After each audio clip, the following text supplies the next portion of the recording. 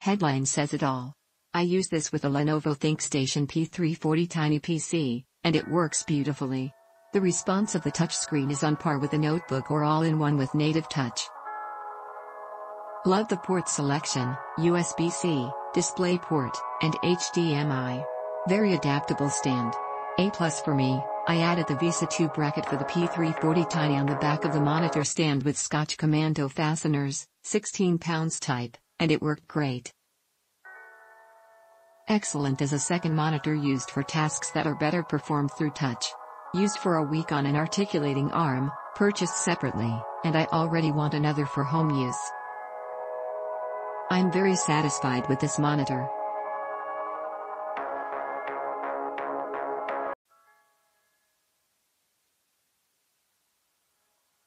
Decent monitor, haven't yet been able to get the touchscreen capability working. It appears that the main HDMI video cable doesn't make this work, it seems to need an additional connection to the PC using a USB cable, which I have not tried yet. There is no documentation that I found that explains this, and the online PDF manual from ViewSonic doesn't seem to explain the details of how to install slash set up the monitor, which is disappointing. I even searched YouTube for a setup video, and all I found were advertising videos.